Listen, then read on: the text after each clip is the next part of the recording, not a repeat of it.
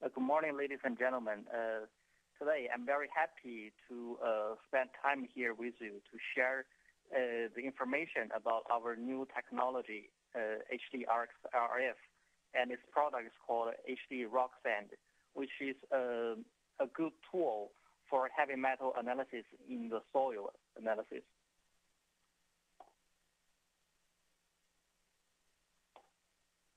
Okay, uh, during the presentation, uh, I will introduce four parts uh, briefly. The first one is to introduce uh, what is HD XRF technology. A second, uh, I will introduce HD Rocksand product and its application and the product features and the benefits we can get from this product. And third part, uh, I will introduce the brownfield heavy metal investigation and how does engineering firms uh, do the soil, uh, do the site uh, remediation. And the last one, I would like to share you one case study. Okay, first the technical overview, technology overview, HDXRF.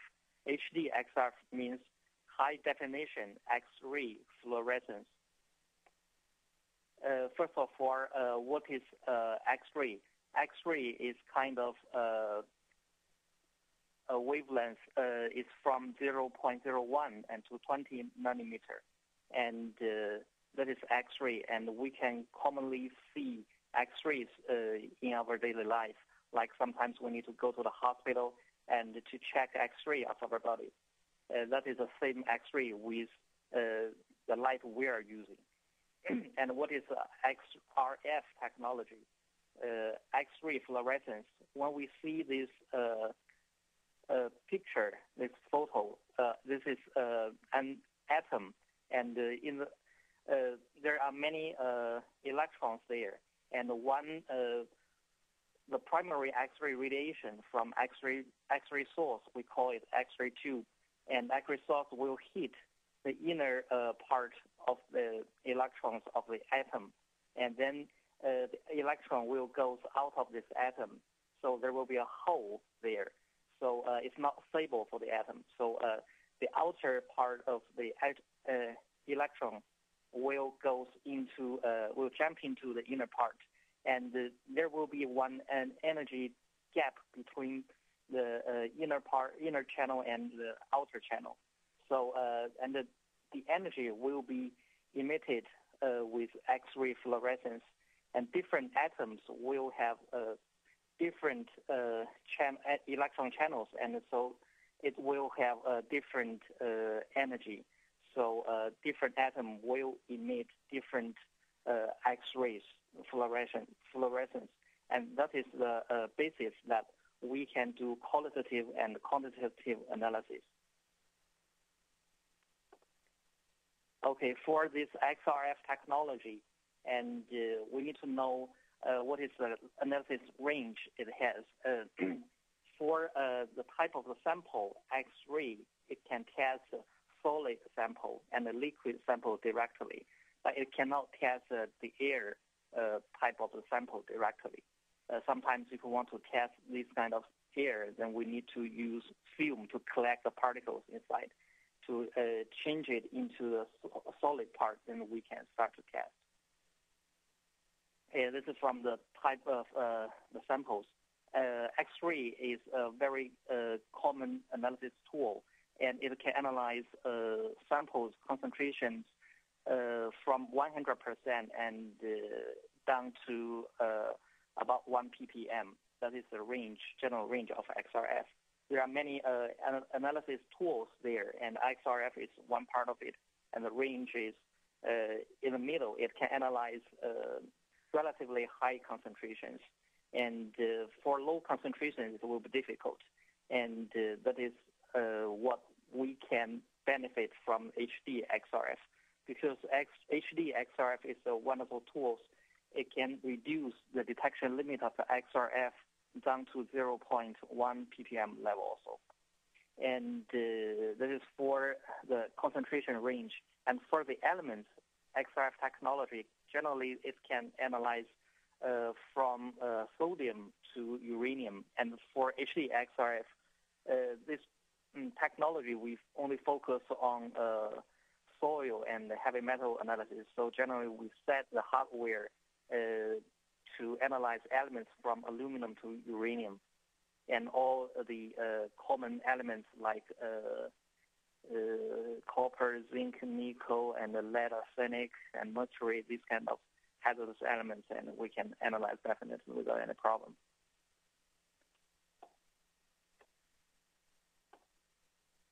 Okay, uh, and this slide, uh, we can see the basic uh, structure for traditional, uh, the first generation X-ray uh, spectrometer. There are several parts of it. the first part is the X-ray source. We call it X-ray tube.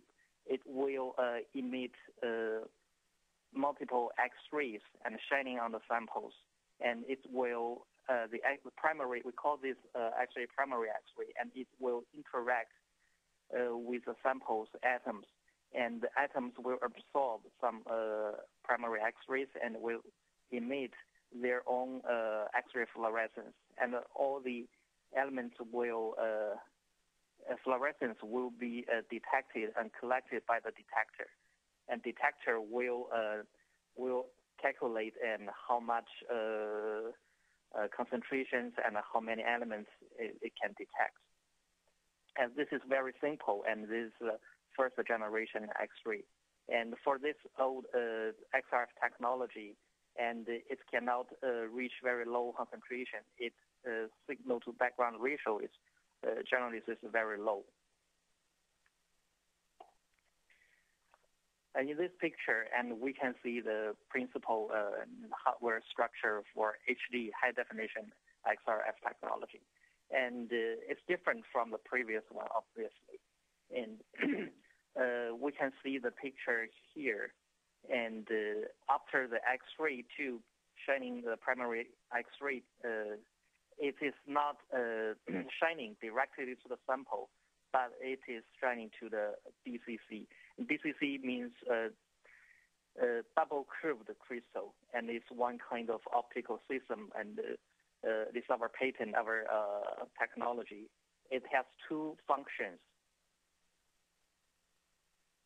The first function, it can uh, monolize uh, the X-ray because uh, in uh, for the primary X-ray tube, many wavelengths of X-ray tube is mixed together, and some of the noise signal come from the primary X-ray. But if we if we can monetize uh, and choose one or two or three uh, monochromatic X-rays to uh, analyze the sample, so we can have a much better performance of the results. And this is the first uh, uh, function. The second function of this DCC part uh, is to collect as much as X-rays, primary X-rays possible, and focus it on the sample. Uh, for this part, it can uh, make the most make the you make the most of uh, a primary X-rays because as much as possible. Because generally, for the first generation, and the sample size is not very large, and we can only use one portion of the primary X-rays, and the portion maybe uh, 5 to 10 percent. It's not very much. But with the help of DCC, and we can use up to maybe 50 percent of the primary X-rays energy. So we can uh, increase the sensitivity by this as well. And uh, for the, the receive, uh, receiving part, and the same thing, uh, we are using high-performance uh, silicon drift detector and uh, to collect the X-ray fluorescence from different atoms in the sample. And this is structure. And when we can see this X-ray spectrum, and in this spectrum, uh, the x-axis means uh, represents uh, different elements and it's measured by a KeV unit. And for the y y values, it means the counts get the counts gotten from the detector. And the black curve means the first generation X-ray uh, spectrum, and the red color means the second one, the second generation is HD XRF. And obviously we can see uh, uh, many ppm level uh, heavy metals are hidden in the black ones, and we can see it, it's very high background, and we cannot uh, do qualitative or quantitative analysis for heavy metals. And but uh, for the red color ones, and uh, we can see uh, many elements existed in the sample, and uh, it's very clear, and we can do analysis. So this is this picture shows um, the basic idea of H, the benefit from uh, HD XRF over the first generation XRF analyzer. Uh, in this slide, uh, here in the in the center of the, the slide, uh, it shows the picture of this product. In this product, um, we can see in the main part is the GAN, and this the X-ray source and detector, and the digital pulse processor are assembled in this GAN. And there's a stand, test stand, and GAN was assembled in the stand, and uh, the stand we can take it onto the site to analysis.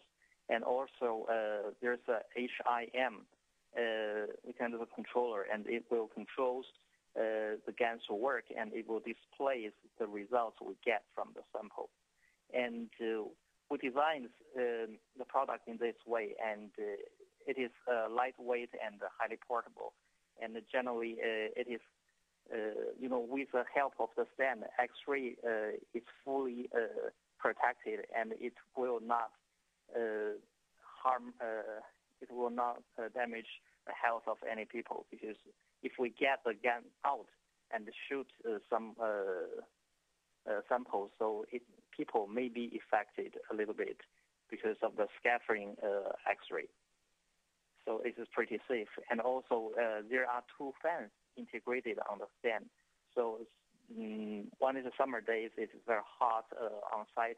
And if we want to work continuously for several hours or five hours a day, so uh, if we do not have the fan, so uh, we cannot work for a long time. So generally, uh, after one or two hours, we have to uh, let again to have a rest of like that. This uh, is a big problem for the first generation, and in the second generation, uh, we uh, just uh, make it better. And here, and we have totally three testing modes for uh, HD Rocksand product. And the first one we can see uh, is we put sample into a sample bag and put it, open the cover and put the sample bag in the, into the uh, test stand and close the cover, and we can do the test. Uh, this is the first one, and the second one uh, is we put the sample into the sample cup and uh, assemble it with a, a very thin X-ray film and we put the cup into a platform. The platform uh, can uh, can force the sample cup to move and oscillate. And uh, with the help of this, in this mode, uh, we can do quantitative analysis because uh, uh, we put samples, put soil sample in the cup, and with the help of the rotating platform, so we can analyze much more samples we have. So it will uh, it has much better uh, representatives of the real samples. This is the second testing mode. And here with the picture, we can get the gun out of the stand uh, like the first generation uh, product. Uh, in this way, we can only do screening job uh, because in some contamination field, and people need to find the contamination source and so the best way and the most effective way is to uh, use again to faster screening of the uh, the land and to know uh, where it's contaminated and how serious it is uh, in a general idea. And so it will be very fast and generally within half minute and uh, it is okay. And generally with again we can uh, use there's a cover, a nose on the top of the GAN, and it can protect the X-ray uh, X-ray GAN, and generally we put one film bag between the soil samples and GAN uh, just to protect. And also uh, we can put sample into the some plastic bag, and we can use the GAN to shoot at the bag directly and to get the result for qualitative analysis. And here is uh, we have the industry uh, leading sensitivity. Here we can see the LOD of our product. For arsenic, it's about 0.5 for quantification mode, and cadmium 0.8. And for the majority of, of the elements that we can reach LOD around 1 ppm level, and that is pretty low. And generally, uh, for the first generation, they can only reach maybe around 10 ppm or so. So we can uh, uh, perform much better than the first generation. And this will be uh, very helpful for uh, some uh, elements like arsenic, and it should be very low, and mercury and cadmium, and sometimes nickel. all these elements generally are controlled with very low concentration, and that is the bad things we can do. And also this t- testing method uh, is now uh, we are uh, trying to apply for the ASTM uh, standard testing method. And right now uh, we can find information on the website of ASTM. And here, uh, just, just several weeks ago, we have successfully passed the first ballot pr- procedure. And we just get only one negative, and this is eligible advice. And we will uh, change and work on it a little bit, and we will move to the second one. So generally, uh, hopefully, uh, within this year, we can get this our ASTM method and formally published. And we can see the name is new test method for elemental analysis of soil and soil waste by monochromatic energy dispersive X-ray fluorescence spectrometry using multiple monochromatic excitation beams.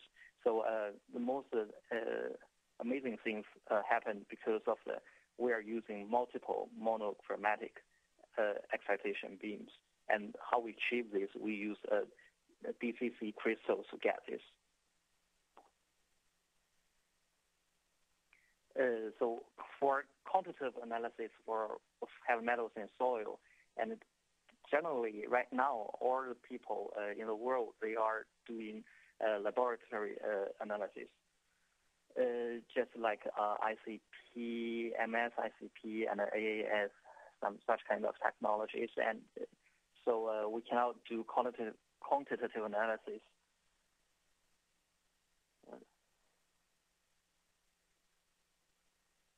And we cannot do quantitative analysis on site so uh, we have to ship the sample back to the laboratories and wait for two or three days to get the result. And uh, this is not good. Generally, we cannot get uh, the feedback very fast enough to learn how is it going. And uh, if it is for one large contamination site, and we cannot just uh, f- to get a lot of samples for the first time, and we send all the samples to the laboratory and wait for one or two weeks well, after we know the results, then we uh, start to try to find uh, the second generation. And if we are doing this, it will cost over several months to do one site investigation, and this is ridiculous and too time uh, consuming. So with the help of this uh, machine, uh, on-site a quantitative analysis machine, and we can do it much faster.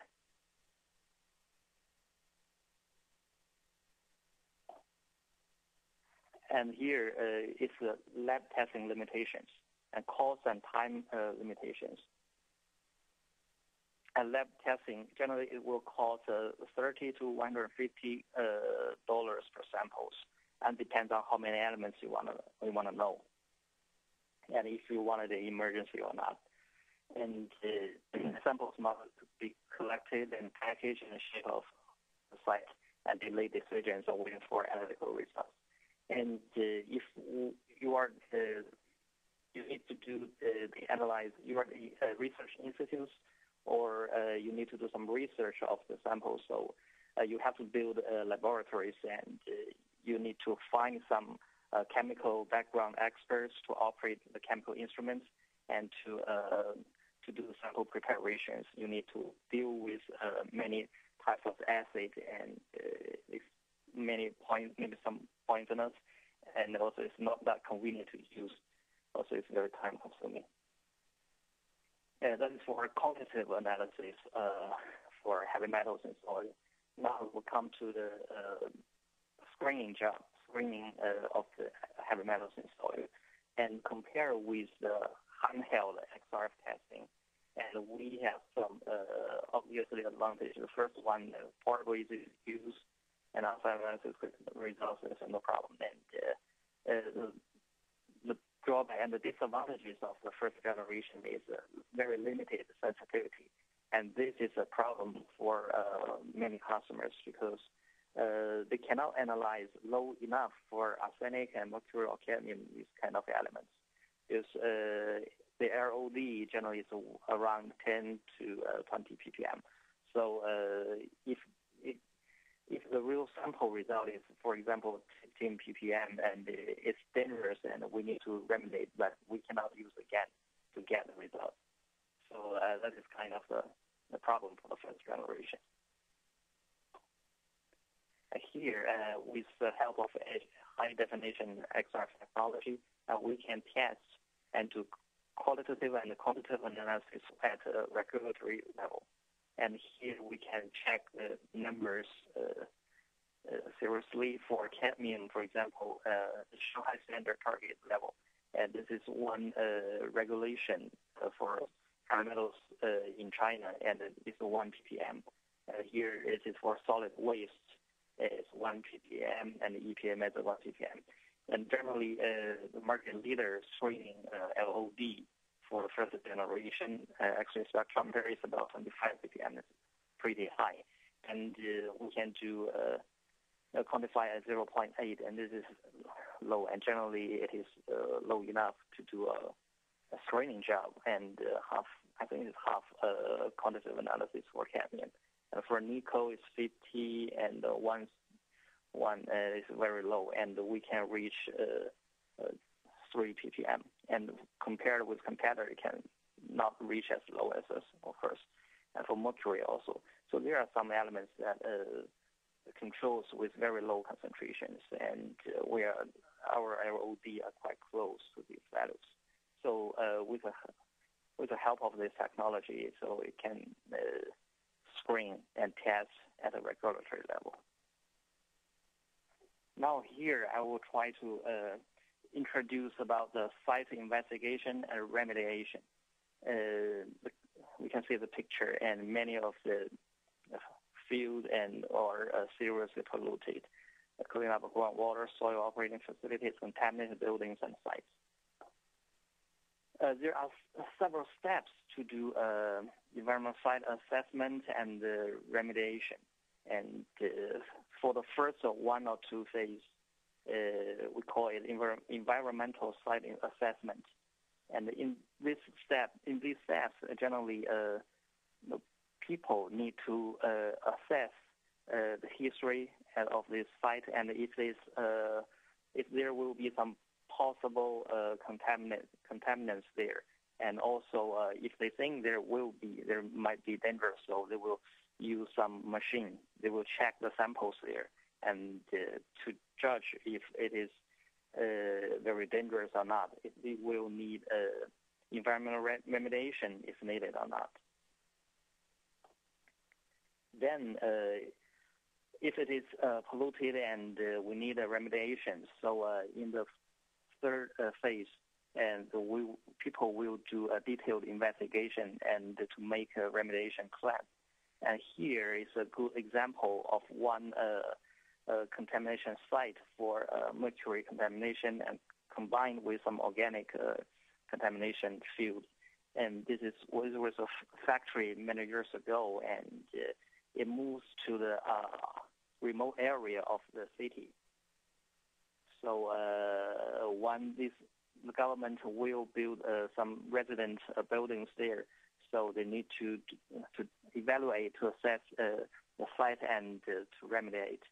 And here we can see the green color ones and the, the, the orange color ones. And I think the orange color ones means uh, the area uh, contaminated by uh, heavy metal mercury and the area, and there are two millimeters uh, written in in one uh, orange area, and it means uh, the depth of the contamination is about two meters deep.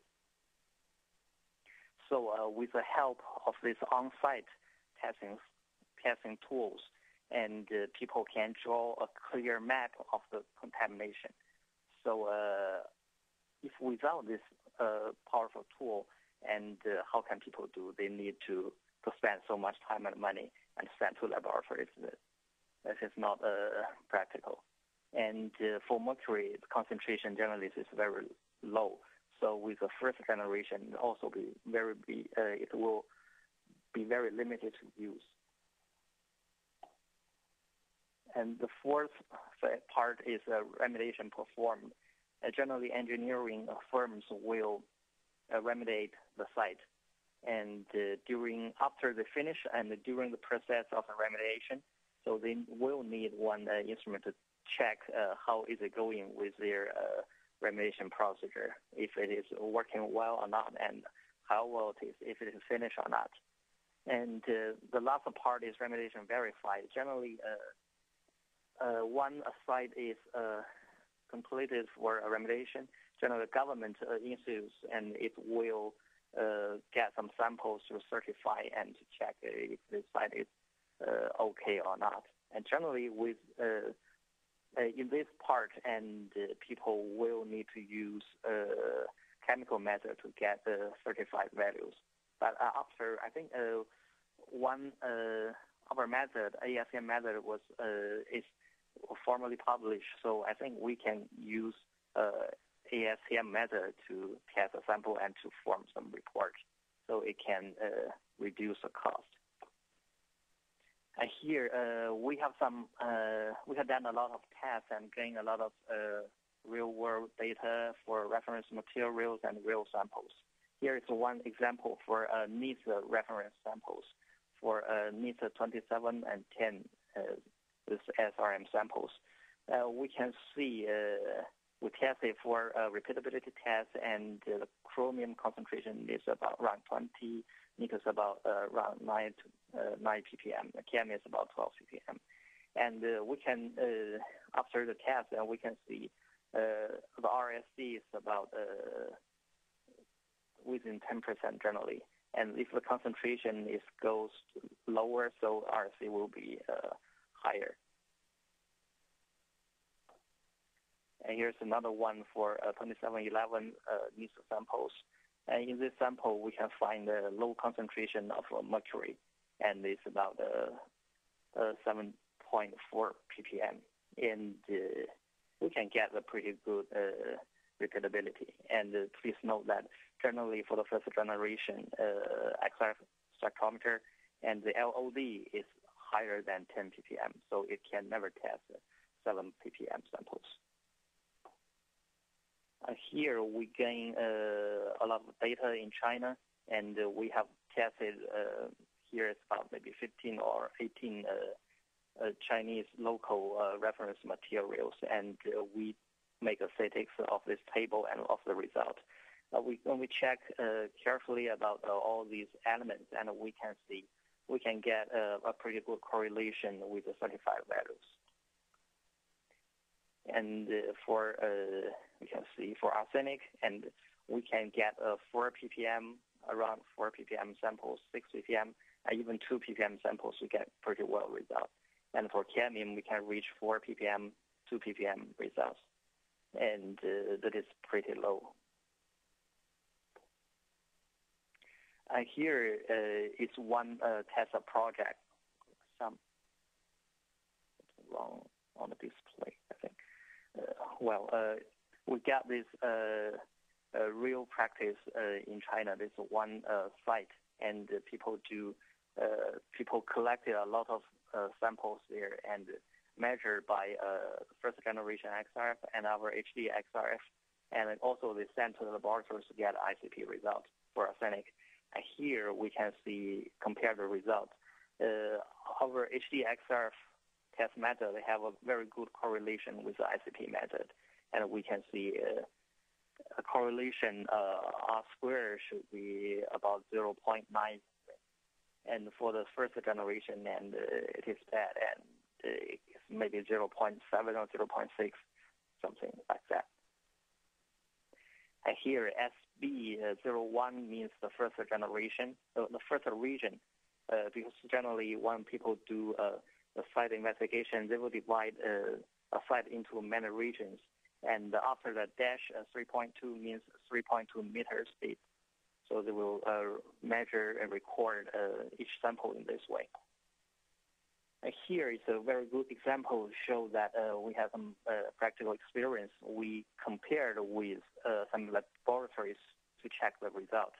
And we sent one, two, three, four, seven samples checked by HDXRF, and we sent to two third-party labs and get the result. And here we can see for the most samples and results, we can get pretty well a correlation with the laboratory analysis. But uh, when we see this, uh, once we led this, we can find uh, for the first uh, ICP result, it can give almost uh, twice the result as HDXR and the second uh, laboratory does. So generally, chemical method, and I think this will happen again and again in future, and this has this is very common because we send same samples to different laboratories, but we'll get some different results. So uh, that is one uh, limitation for chemical method because uh, it, every man uh, can make a mistake. But for HDXRF, uh, its operation is very simple and it has a very high uh, repeatability. And so generally, no matter who is operating this in instrument, they will get very close results. Uh, here is some uh, real data. Okay, so uh, many people, maybe you are curious to know for the technical, if there will be some influence factors. Yes, I think each technical tools, it has its own limitations here, and I will introduce you about a little the main uh, influence factors for this technique. Here in this photo, we can see some real uh, soil samples, some, some like uh, sediment and some rock particles, some sand samples. Yeah. And the largest uh, influence factors we can call the heterogeneity between samples because uh, heavy metals in soil on site is not homogeneous at all and uh, we can find uh, one part, maybe 1,000 ppm for lead, and uh, up to within a distance for one feet, and the result can drop to 100 ppm. And that's the truth. And we can find this happily. We can find this in the real site. So this can cause the biggest, largest deviation uh, for the comparison of analysis is called heterogeneity between the samples. And also, there will be heterogeneity between the samples. Uh, what does this mean? Uh, uh, sample representative is a challenge, yes. And uh, when we get one sample sent to the laboratories, uh, for example, for chemical instrument, it can analyze only one or two gram samples. But how much sample it can represent for, for the samples on site? Generally, people will get a sample like uh, several hundred or, or one or two kilograms. And after they get on the whole process and transportation and sampling, we will just analyze one gram of it. And can one uh, gram of the sample represent uh, several kilogram samples? So that is a challenge. That may be a problem. And here, uh, in the next slide, I will introduce you a, a true story. Uh, within sample heterogen heterogeneity, um, you know, soil are composed by different particle size, and different particle size can have different element concentrations. And uh, is amazing, but it is truth. Uh, for example, if we measure a sample uh, less than 200 mesh, the lead result can reach around 2,000 ppm. But if we test a large particle, it's 4 mesh around, so the result can up to uh, can goes low to 50 ppm. So uh, this means that if we test the sample directly with our GANs, means we are analyzing the average values for all of these particles. So uh, when we compare the result with uh, ICP, sometimes So we need to make sure that the samples we are testing are the exact samples ICPs are uh, testing. Uh, if we uh, XRF technology want to do uh, quantitative analysis, so generally we will need to do some very simple sample preparation. And for example, this is a real sample, a block of soil, and uh, we will uh, dry it naturally, or we use some uh, tools to make it dry faster. And after that, we can use a manually a tool to make it into small particles, and we use a sieve to sieve it. And uh, I think in the U.S., uh, our we need to to uh, to, to sieve it uh, to 60 mesh. And uh, there's another uh, effect, influence factors called moisture effect. And we have done some experiments that uh, we uh, get one sample, have uh, these uh, heavy metals inside, and we add different moistures and weight it and to test the result. After that, we can find the rule is like that. All heavy metals show the same trend for different moistures. And in general, uh, 40 to 60 percent moisture will be the maximum for the, uh, the, the moisture in the sample. And moisture can cause the result lower. And generally, 20 percent moisture can cause about 20 percent to 30 percent lower for the element concentration. And here is uh, a case study we did uh, in the U.S. Geneva uh, foundry case study. And uh, in this uh, study, and it was an important uh, economic driver in the Western New York town. And uh, after 125 years of operation of the foundry was closed in 1988, analysis of sludge for the foundry's air pollution control system in Soaring indicate that lead and arsenic were likely emitted prior to its installation. So uh, in this case, uh, and we uh, customers need to analyze arsenic and lead concentration in the very large area. And there are several uh, key challenges for this project. The first one is a very large number of samples were needed to characterize uh, the area of the entry. This is a large area, and uh, we definitely need a lot of samples to characterize how is it is contaminated and how serious it is like that. So uh, the samples they need to be tested are very large. Uh, the second one, there were other potential sources of contamination. Uh, the area surrounding this area is primarily residential and represents own challenges. So uh, it's not only uh, arsenic, but maybe some other uh, potential contamination sources. So we need to be very careful and uh, we need to check the whole area very seriously. Then we can get a get the very clear page for the site. And the solution. And with the help of our technology and the guy who is working there, uh, it gets the ability to test, to measure the soil samples for lead, arsenic uh, very quickly and easily and uh, they save a lot of time using this because uh, we can analyze for lead and arsenic generally uh, one sample, which is to screening half minutes, and we can finish the test. And we can reach uh, one or two ppm LOD of that, and that it will be quite enough for the customers to use. So uh, by using HD Rocksand, the camera was able to build a large data set needed to characterize the area and record enough samples to understand the heterogeneous nature of the contamination surrounding this area.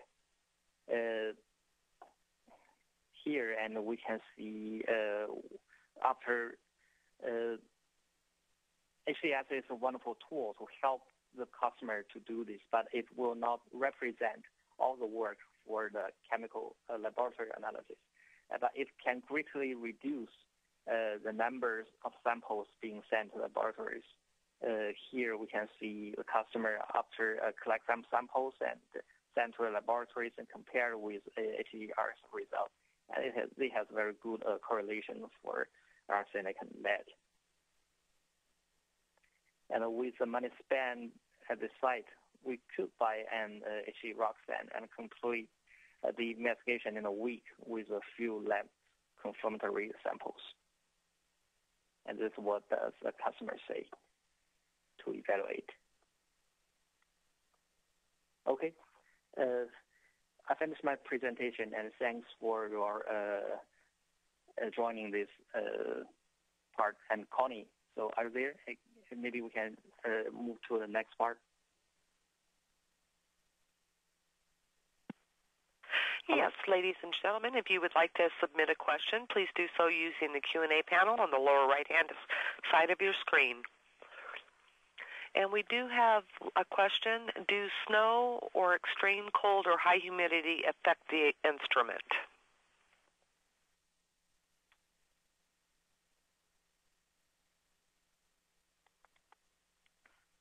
Uh, yes, I think uh, I had already introduced the humidity and moisture effect of the instrument. Uh, generally, uh, if the sample there is high moisture, it can affect the results. And we, after we get uh, enough experiments and we know how much effect it can be. And generally, uh, temperature in operation is from um, 15 degree below zero, 50 centigrade below zero and high to uh, 40 or 50, 50 uh, degrees centigrade. Generally, we recommend the instrument to use uh, within this range of uh, the temperature outside.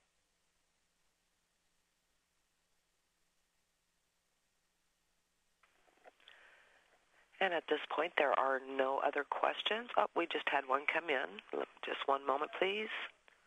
Are these units rented, sold, or both? If so, how much?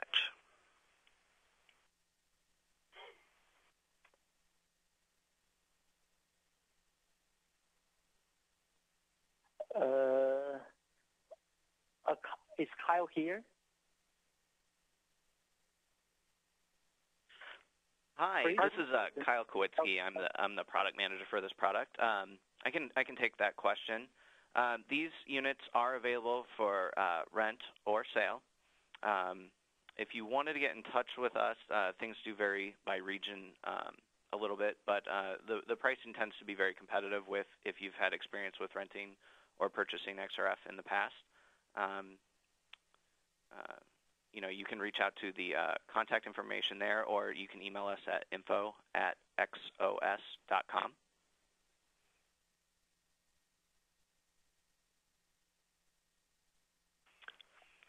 And we have another question about the moisture. Does that mean water in the sample or the humidity in the air? Uh, um, it means so, water in samples, but not the humidity in air. Yeah. So, uh, so moisture that's in the sample. Um, typically, if there's moisture above around 15%, it can start to um, absorb some of the X-rays and bias the result down um, below.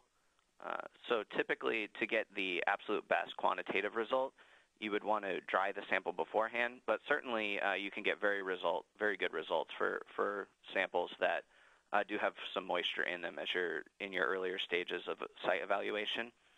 Um, typically, you, you can really tell by the time that it's getting up to being a, a problem, you can typically start to see that, that the sample is either very muddy or um, you can see water uh, in the sample at that point.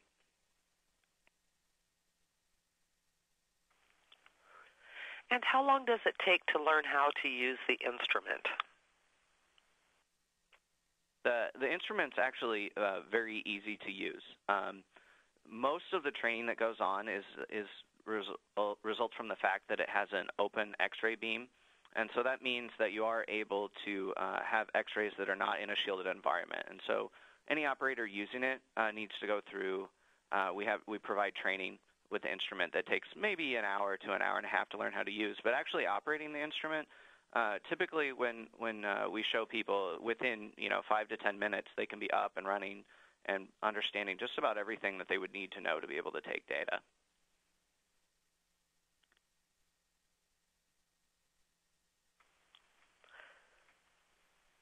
How many hours um, the X-ray tube can go before changing the tube?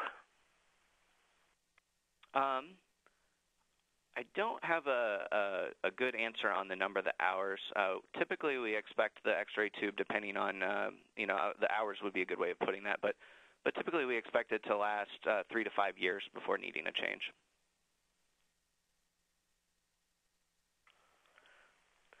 The HD-XRF instrument is used for the initial site characterization and not for compliance or closure samples. Is this correct? So the specific regulations for your geography are going to really dictate what um, what method you are required to use for uh, closure samples. Um, one of the, one of the big reasons and one of the impacts we think that's going to be really valuable to working with ASTM is to give a um, consensus body-based method that uh, going forward uh, organizations will be able to use to quantitatively determine in the field that uh, the the results are good. So typically, uh, what we're finding at this stage, without having that method in place, is that it's very good for basically knowing the answer um, before you go to the, the time and trouble of sending samples to a lab to, to really get those closure. Uh, for instance, um, being able to to determine that, hey, I know what result I'm going to get when I send this to a lab. So I won't send something to the lab that maybe doesn't pass or doesn't allow me to close the site. I can know that, okay, the sample uh, here, this area here, I need to continue to make sure that it's complete and that the levels are at the at what my my needed are for, for my plan for the site so that I can actually close it. Um,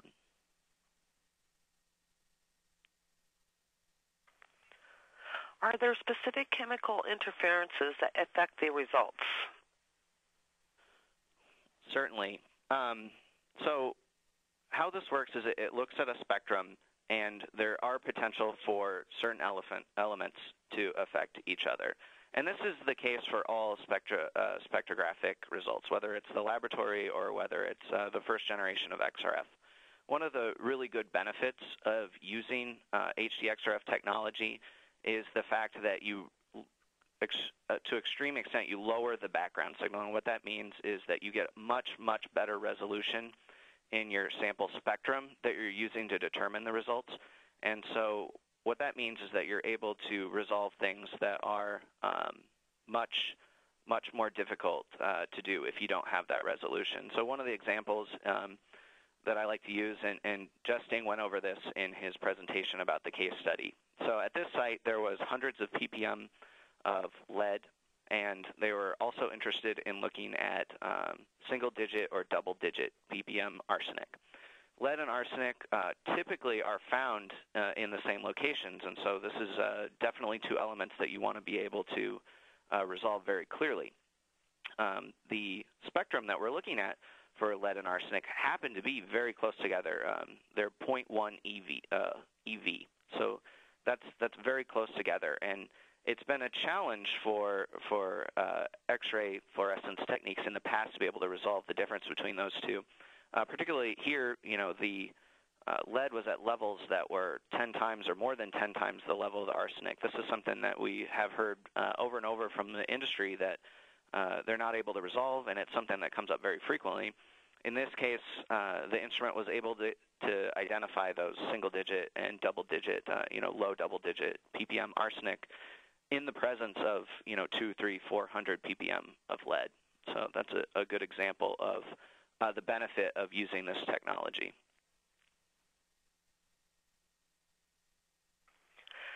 How often do we need to calibrate the HD rock sand? That's a that's another great benefit of, of using this technology because we remove all of the background. We end up with a very very stable spectrum, and so calibration. Uh, we would recommend that you uh, the the instrument comes with a validation sample. So that's a sample that's a certified reference material. We know what the values are in it. You're able to check that daily or weekly, um, whatever you set up in your QC plan to, to say that's the frequency that you want to check the instrument. But our expectation is that calibration uh, would only be need to be done maybe every six months or maybe possibly yearly, um, really just based on those checks. So when you check the validation sample, you'd expect to find it near to the certified results. And when you start to see a drift or um, if you start to see uh, results outside of there, then might be the time to calibrate. And we would only expect that to be about mm, once or twice a year. Now, you may have already covered this, but on one of the slides, the response for lead and arsenic were in the same location. Is there any concern with differentiation of the, these two compounds?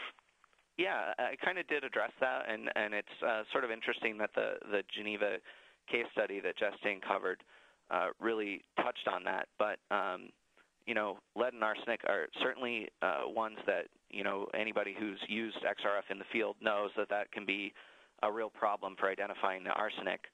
Um, um, and so certainly we're still going to have effects. If there's high lead in the presence of arsenic, you probably won't be able to identify the arsenic at quite as low levels. But um, what we found is that typically, you know, if the lead is not present, we could see the arsenic at 1 ppm or even uh, just below, uh, detect it just below 1 ppm. But a lot of times the action levels for arsenic are around that uh, 10 ppm to 20 ppm range. And even in the presence of, of several hundred ppm of lead uh, uh, on this site, we were actually able to demonstrate that, that this was not an issue with being able to identify the arsenic.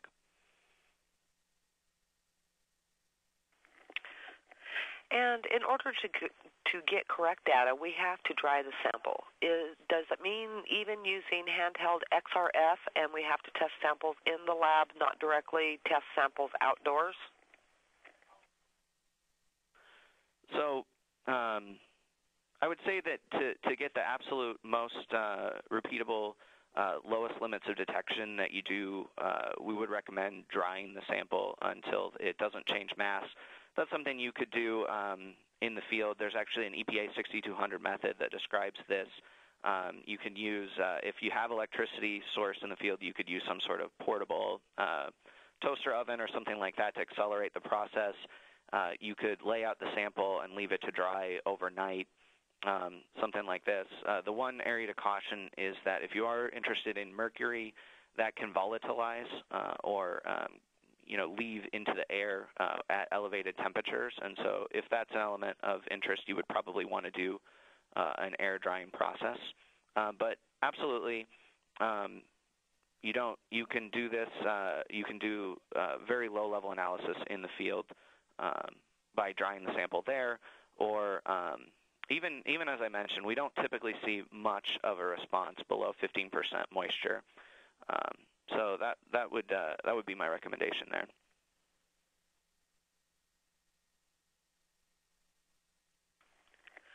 And the display was not shown. How easily are they viewed for various elements?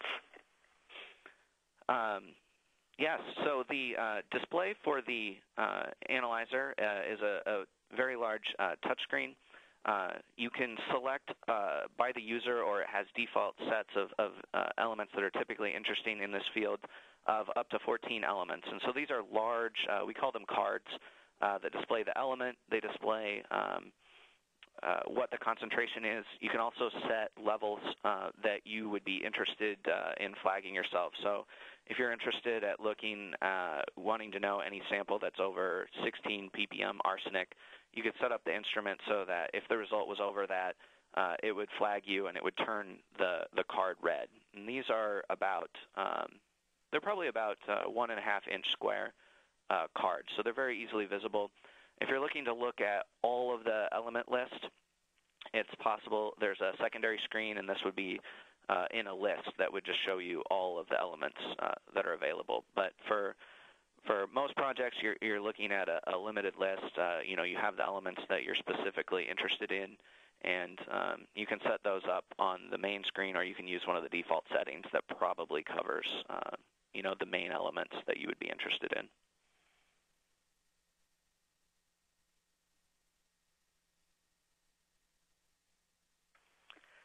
And at this time, there are no more questions. Any right. last thoughts or comments? Well, I, uh, I wanted to uh, thank Justine uh, for his presentation. That was really informative, and I hope answered a lot of the questions that, that everyone came here to see. Um, if you're interested in learning more about the product, please reach out to us. Um, you can reach us at info at xos.com, or you can also find us at www.xos.com. Um, so thank you again. Once again, Justin. great presentation, and thank you to the uh, audience for um, your participation and your questions. I think it was a, a really great session.